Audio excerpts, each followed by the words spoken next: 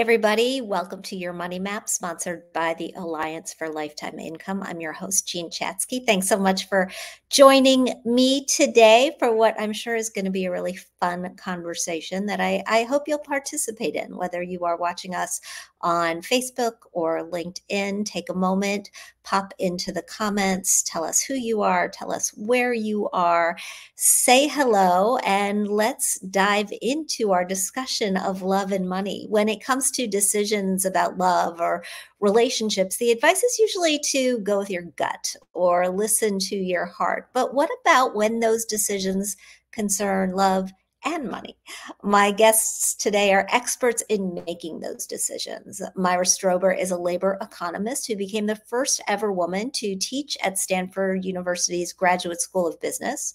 She led a popular course on love and money, and that is where she crossed paths with Abby Davisson, who at the time was a student taking the class with her then boyfriend, now husband. Years later, Myra and Abby teamed up to write a book. It's called Money and Love, an intelligent roadmap for life's biggest decisions. And the book provides a framework for all of us to look at the big choices that we will face throughout a lifetime of relationships, everything from deciding who to marry to picking a place to retire with your partner. Today, they are both joining us to share their insights into how we can better navigate money matters with our partners at every stage of life. Myra and Abby, welcome. Thank you so much for joining me here today. It's our pleasure. Yeah, Delighted thank you. Thank you. Thank you for being here. So, Myra, let me start with you because you started out on this journey. Tell me a little bit about the class that launched um, both your relationship with Abby and this book. When I first started teaching the class, I actually started teaching it when I was at Berkeley, and the course was called uh, Women and Work. And it was 1970, and very few women were in the labor force and also mothers of young children. And so these women that I was teaching really had no role models. Uh, their mothers, their aunts had not worked when they were young, when, when the children were young. And um, so we started talking about how to combine work and family. And then when I moved to Stanford, I took the course with me. And um, eventually, some intrepid men took the class women in work. And one of them said, You know, this class is really relevant for men. If you would change the title of the class to work and family, I will personally recruit guys for next year. And so I changed the name and he recruited. And when I stopped teaching the course uh, years later, 40% of the students in the class were men. And the conversations were so much better. I, I, have to imagine that it became one of the most popular courses at Stanford. I I um, I didn't go there for for college or for graduate school, but had I gone there, I definitely definitely would have signed up uh, for this class as you did, Abby, with your then boyfriend. What was it that appealed to you? Well, we had met in business school and it, but things were getting serious, and we um, each, you know, it was much later than than 1970, but neither of us had role models either for um, in our own families for how to combine a career. We were both very ambitious about our careers and a personal life and priorities outside of our career. Both of us had mothers who had paused work or left the workforce where they had children and I didn't want to do that. Um, he didn't want me to do that, but we didn't really have a guide for how to do that. And so we signed up for the course. And very early in the course, this was our second year of business school, we were about to graduate. We needed to make big decisions about whether we should accept a job in the same city, whether we should live together if we ended up in the same city. And Myra, being a labor economist, always shared very interesting data points. And one of those data points she shared was that couples who live together before getting married have higher divorce rates. And that was very surprising to us, not what we would have expected. And so for our final paper, we dug into that trying to understand why that was the case, if anything could be done to prevent it, and um, wrote the paper. It then became the blueprint for now um, almost 15 years of marriage. And after the course, we stayed in touch with Myra. It really changed our lives, and she invited us to be guest speakers for almost a decade.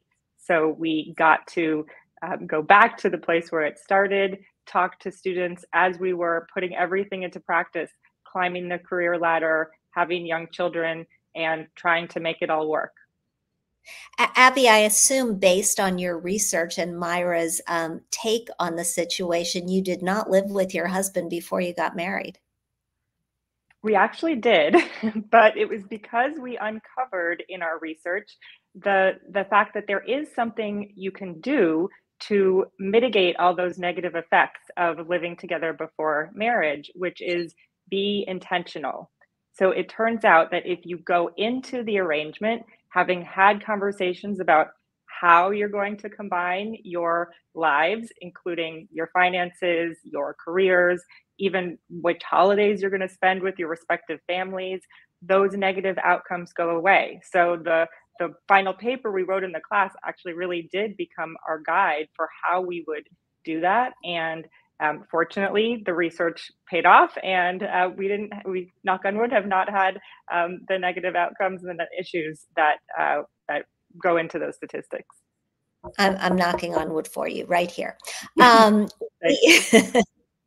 um, uh, we're hitting Valentine's Day next week. Um, it is the time of year when news organizations and financial institutions around the country, around the world, release their latest studies on financial infidelity, which is their way of telling us that, you know, decisions about love, for the most part, eh, are, are, fairly easy. But once you add money to the mix, it gets really complicated. Myra, why is that? Well, how to combine assets or how to combine them, if you start with none, how to combine them as you go along is a very a difficult problem. And um, most people, or many people, think that talking about money is just unromantic. And so here they are in a romantic relationship, and money is the one topic they don't talk about. And we think that's a big mistake. Uh, we think, and the book calls them uncomfortable conversations. We think people should have uncomfortable conversations before they're ready for the conversations. so that means once the two of you are serious about being together, talk about money, talk about your philosophy of money. I mean, if you're young, you may not have quite a philosophy of money, but you know whether you like to spend most of your money or save some portion of it. You know what your financial goals are, or you can certainly think about that. And uh, if two people come to be on the same page about money, um, and then we can talk separately about uh, how we think both members of the couple should keep track of the money coming in and the money going out. Um, then the opportunities and the problems for problems um, are um, mitigated, reduced. Uh, how, how, you said talk about these things before you're ready to talk about them. How soon, Abby, do you tee these things up? I mean, I've I've always rolled my eyes a bit. I have to admit. Um, uh, uh, at those at those articles that suggest that you talk about your credit score on the on the first or second date like i am first of all, I'm married, but second of all, I am not doing that. Yeah, I mean, I have to say, I don't think the first or second date is where I would personally initiate that conversation either. Um, but one thing that I think does work well is tying it to a specific experience. And for couples starting out um, earlier in a relationship, that's often going on a trip together. And that could be a really good um, prompt to bring up the budget for the trip, right? there's a range of places you could choose to stay. There are um, in, in every price point, right? And so you can use the budget for your trip as an entry point to say, hey, we're going away together. I realize we haven't really talked much about money. Um, one thing you should know about me is that I feel really strongly about paying off my school loans every month. And that's about you know, X dollars. And that means I'd be more comfortable keeping our budget to Y. And if you go first and you sort of model the type of vulnerability and transparency that you want your potential long-term partner to also display that creates that moment for them to say you could say you know is there anything i should know about your budget? Right? And that that creates that entry point that's less awkward than if you just you know pull out your budgeting app on the first date and say you know show me i'll show you mine if you show me yours. Like mm. that's you know awkward a little a little bit and you i think that that going first is really key. I mean reporters and i grew up as a reporter we do this all the time right? We give a little to get a little. I tell you a little bit about me you tell me a little bit about you you tell me more about you and all of a sudden i have i have a story to write.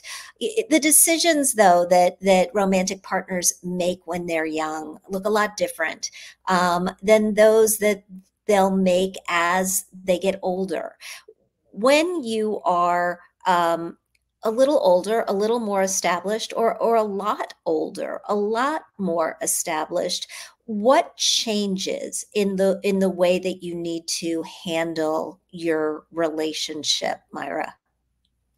Well, the first thing is that if you do um, begin conversations about money very early on, and if you continue to have them throughout, through some sort of uh, annual retreat or whatever your mechanism is as a couple to keep in touch on really important things.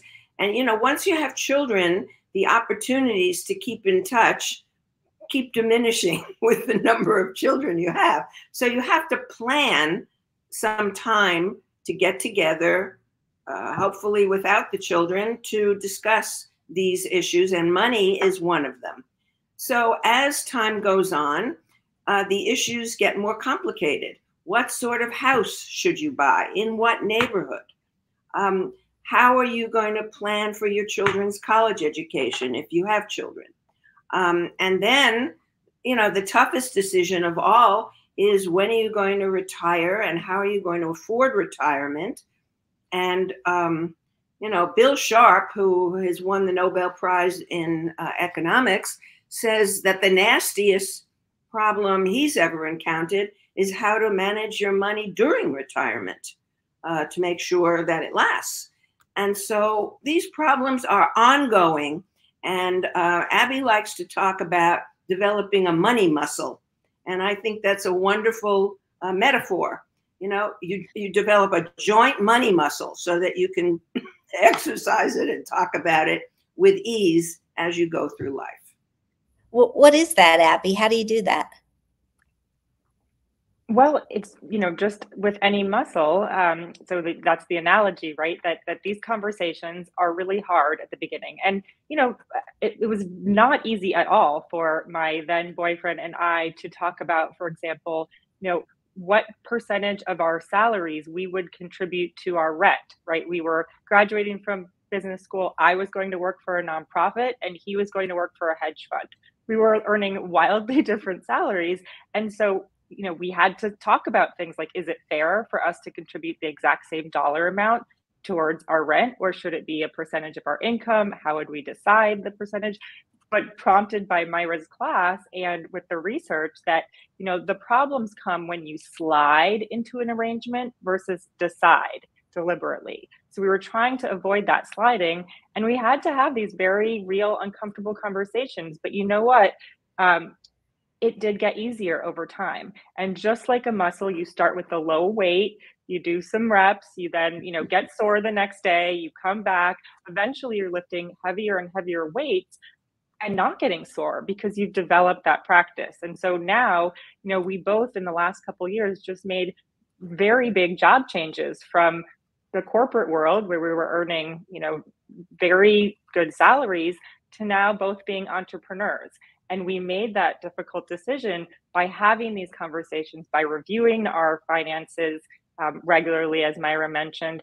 And it's a muscle we've been building over the last, you know, now um, 17 years since we took the class. And it's enabled us to have the conversations, not with ease, I wouldn't use that word, but with less discomfort and more um, trust than we certainly did at the very beginning.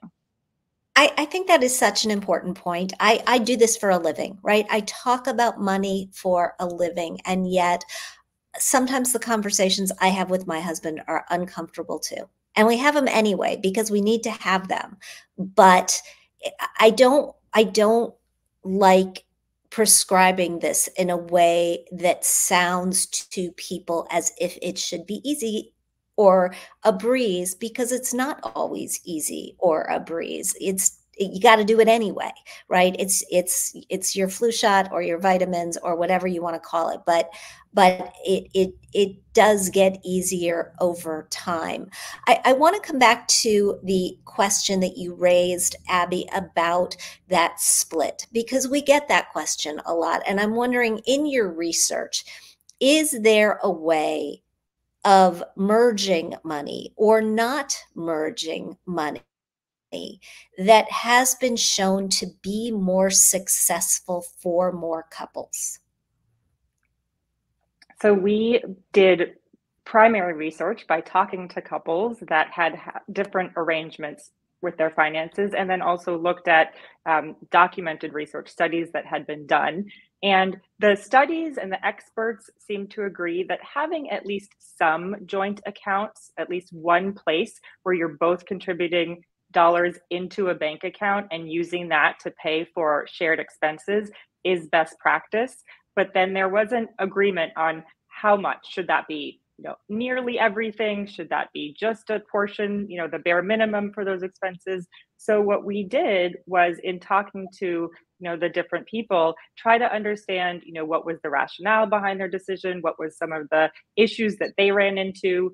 Um, my husband, for example, his parents merged everything, and he remembers his mother having to um, hide credit card statements when she had bought her husband a gift. Right when he, she bought his dad a gift, like it couldn't be a surprise if she had paid for it with their joint account. So we had decided, okay, we'll maintain some separate money just for each of us to be able to do things like buy each other gifts, like go on trips with our friends that we're not going to benefit the other person, but um, we actually started out um, merging the bare minimum of our salaries. And then over time, with each additional milestone we hit, when we got engaged, we increased the salary we contributed, or the percentage of our salary we contributed to the joint account. When we got married, we increased it again. When we had kids and started to pay childcare expenses, we increased it again. So at this point, you know, now 15 years, two kids later, the vast majority of our income um, is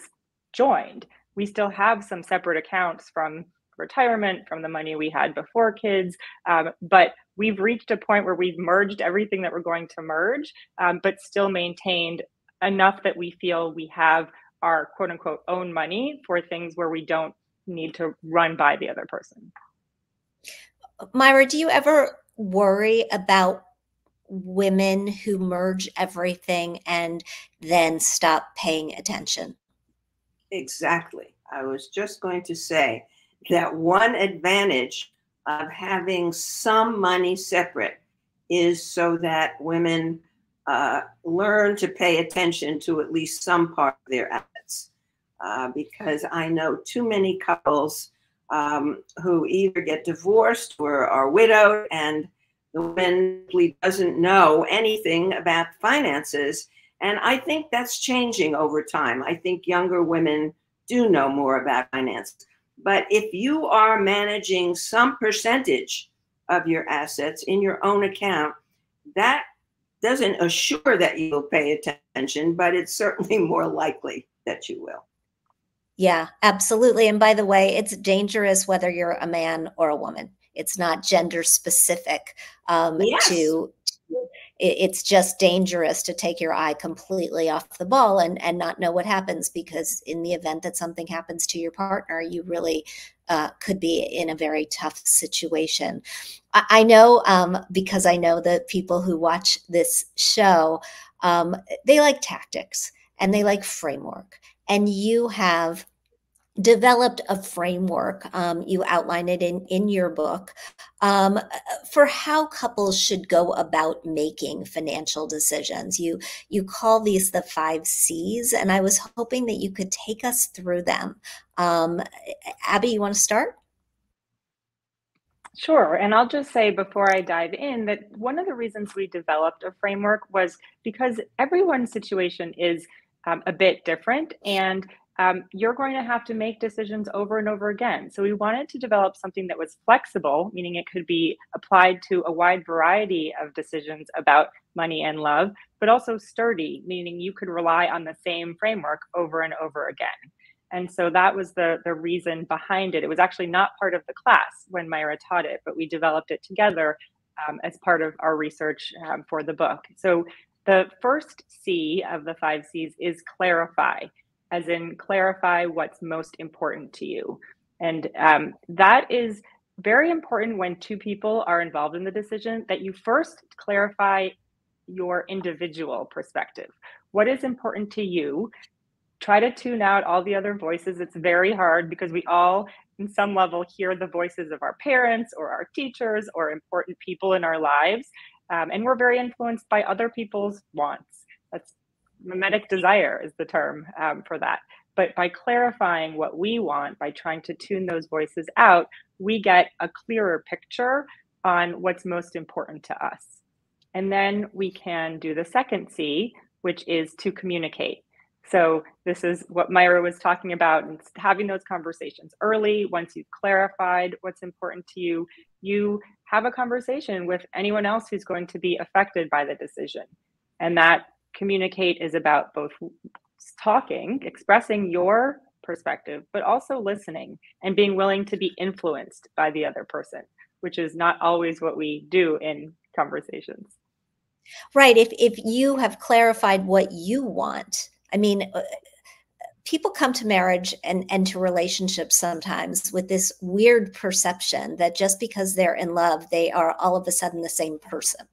And in reality that's that's not always the case right? I mean or rarely the case. You're attracted to something that you don't see in yourself quite often in this other person which means what's important to you as you clarify maybe may be something very different than than what's important to your partner. So myra as you come to the communication step how do you negotiate your way to a shared goal well, first, let me say that we think about clarifying and communicating as a bit of a dance. So it's not like you clarify and then you tell your partner what you're thinking, and your partner tells you, and then everybody goes to sleep. No, because what your partner tells you, if you're listening, um, may change your view of what you want because now you've heard something maybe you haven't heard before. And so you go away and you re-clarify. And then you come back and dance together. And then this may go on for a while. Hopefully not forever, but you know, a few a few weeks, a few months perhaps. Okay, so then how do you help as a couple uh, to make your decision? Well, the first thing is to broaden your choices. So the third C is choices. Um, sometimes we think in binary terms either I'm going to buy this new house or I'm going to stay in my current house. Well, maybe there are some other possibilities. Maybe you can try a new house in a new community for a few months um, and see how you like that new community. So it's not just shall I stay or shall I leave, but how shall I leave? Okay, so broaden your choices. And then um, you want to check in with others, uh, not not forever, and not with everybody. um, you pick a few people. You know, let's say you're thinking about getting married, um, and uh, you know some people whose marriage you think is really good, and you're close to them, and you ask them, well, one member of the couple, how did you decide who to marry? What was your process? Um, and so that might help you in your process. So check in is the um, next one. And then um, look at the consequences of your decision. This is really important.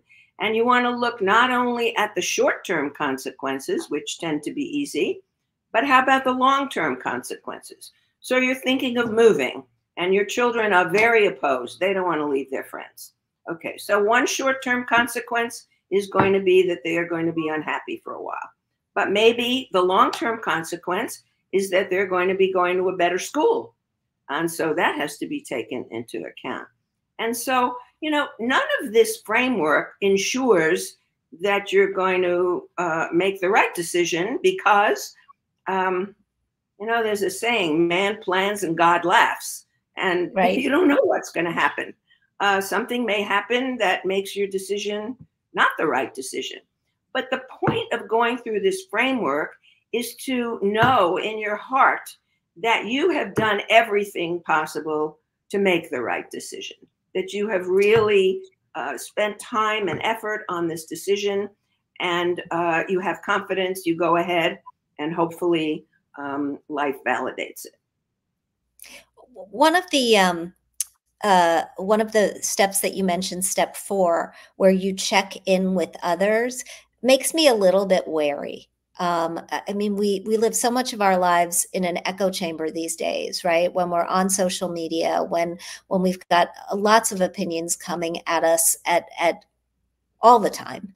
How how do you make sure that you're actually doing this in a way where you get a, a critical but helpful viewpoint?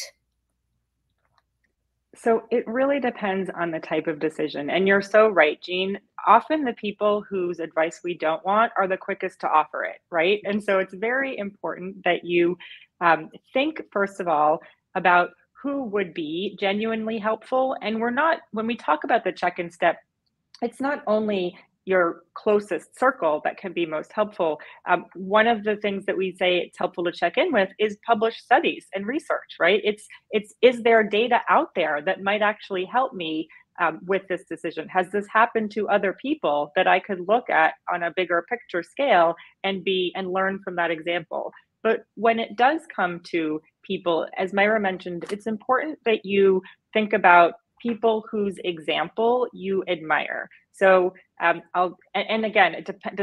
The, how wide you cast the net depends on the type of decision. So if the decision is about, for example, having a child or having another child, um, that is a very personal decision, uh, and it's one that you might want to limit very intentionally who you talk about that with.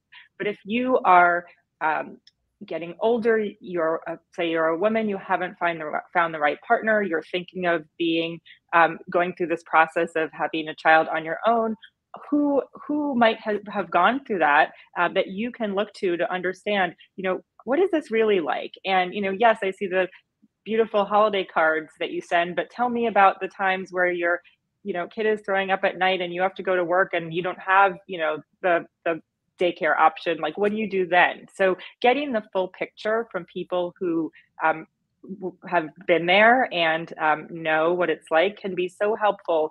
And and sometimes that makes you go back to the first step and re-clarify what's important to you right? This is a very iterative process. It's not as if you check off the steps and one through five and then you're done you you do yeah. um, feed in that information into other parts of the framework and and allow your perspective to shift based on what you learn you, you mentioned getting older, and um, as we look at trends in aging and longevity, one of them that we've seen, particularly over the past few years, is a rise in what people are calling gray divorce, um, divorce in people over 50.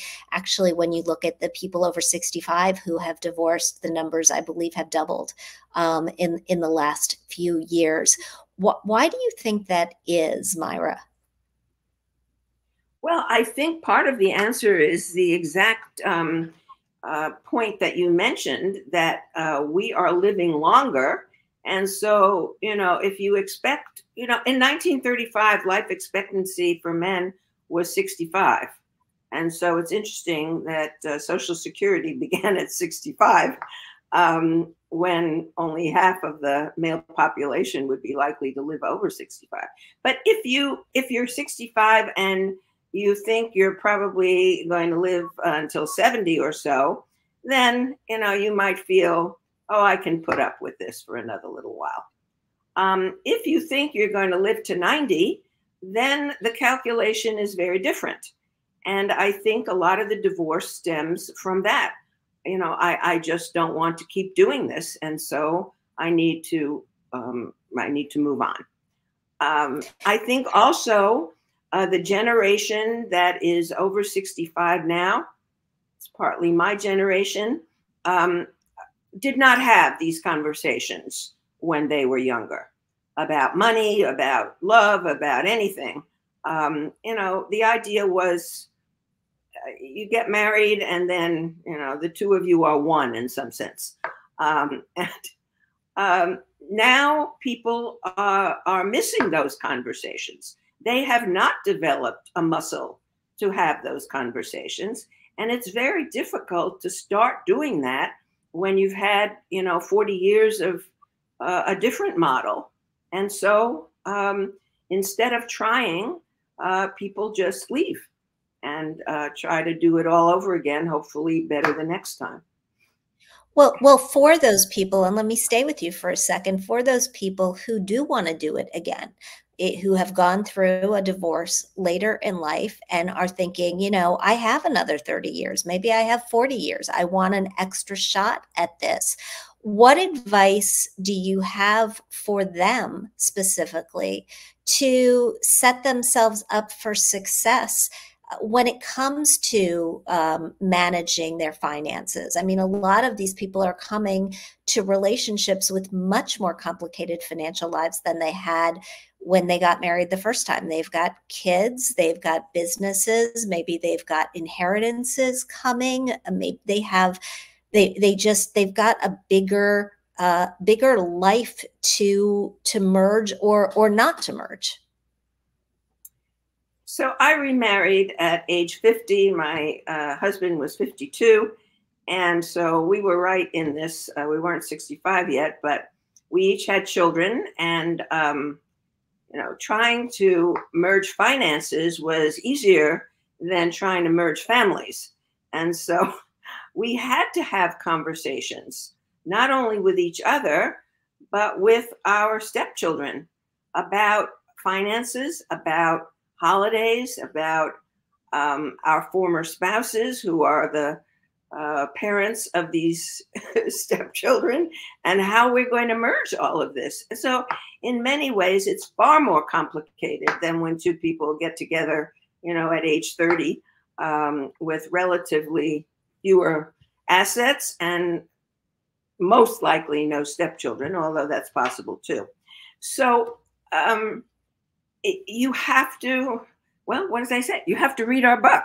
You have to make believe that you're starting out because you are starting out, not quite from scratch, but you're very early in the relationship. And if you want this relationship to be better, you have got to clarify and communicate. Communicate, communicate, communicate. And I often say to people, it's like um, seeing that there's a high diving board at the swimming pool and you're thinking, can I get up on that high diving board?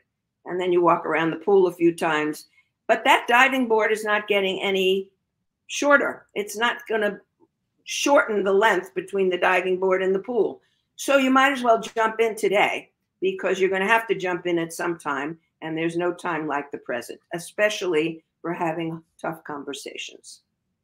Yeah, yeah, agreed. And and Michelle, who is watching, um, is is pointing out, and and she works in this field. She says, as generational wealth is shifting to women, they have more money to make the choice to divorce, and she is seeing that a lot in, in her practice.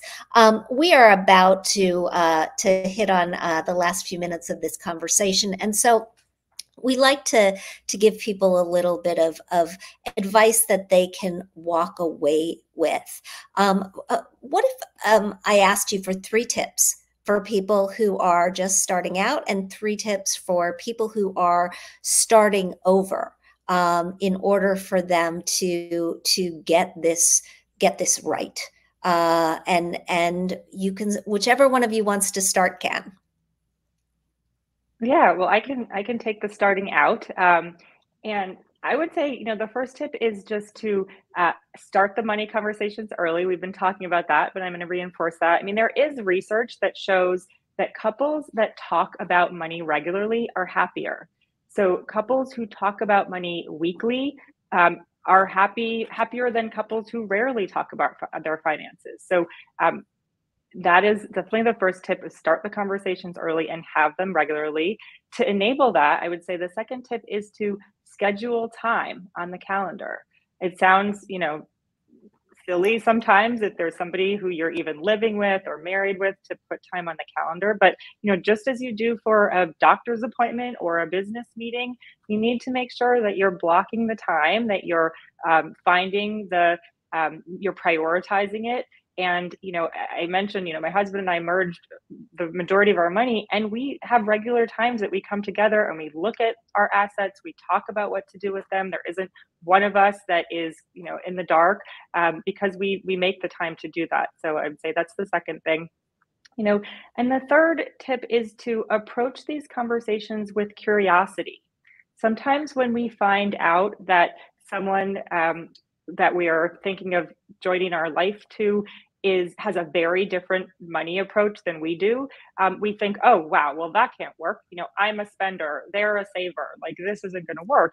You know that's not necessarily the case as long as you don't see your perspective as the only right one and if you go in with, you know, I'm curious, like what's underneath that? What were the early money stories that shaped you? You know, what are your motivations for um, saving? You know, what's behind that? You can really um, find some very interesting middle ground and find lots of places where you can join your life with someone who has a different perspective, as long as you're both committed to making it work and finding the solution. Um, and that takes that mindset of curiosity to do that. I love it. Myra, how about you for people starting I would over? Say the first the first step in having um, a good second marriage uh, is if the second marriage results because one or both of you has been divorced, try to have the most amicable divorce you can have and maybe it's too late for you. Maybe the divorce has already happened and it's been terribly messy, uh, but maybe you can make it less messy. Um, because the issue is that that former spouse uh, is the mother or father of your children. And if that remains messy, then you're setting up a problem in the new marriage with uh, the other person's stepchildren. And uh, stepchildren can make a lot of trouble. And you want them on your side. And so you should try to include them in the money conversations.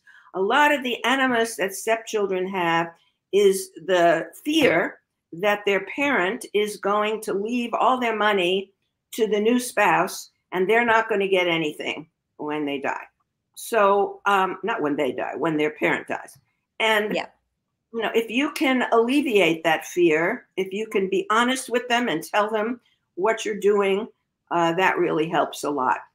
Um, and when you clarify for yourself what you want in the new marriage, I would suggest that you prioritize your relation not not as number one, but as a high priority, your relationship with your stepchildren, because stepchildren can really um, gum up the works in a, a second marriage. And that's also true, you know, if if, if their parent has died. Um, so I would say try to have an amicable divorce and try your very best to get along with your stepchildren. Fantastic. Thank you guys so much for this wonderful pre Valentine's Day conversation. Um, I know that there are people who are watching who are looking for more information from both of you. Abby, where would you send them? So our book website is uh, has a lot of resources and more ways to stay connected. It's moneylovebook.com.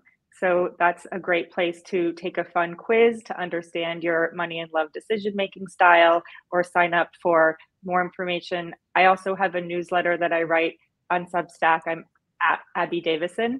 It's called Practically Deliberate. Fantastic. Thank you both for being here today. For anybody who's watching who'd like more information about this conversation in particular, you can go to our website, uh, which is protectedincome.org. Um, and there is a link at protectedincome.org slash Davisson Strober for more on this conversation. Thank you guys. Thanks everybody for watching. Happy Valentine's Day. Bye. Thanks so much. Bye. Bye.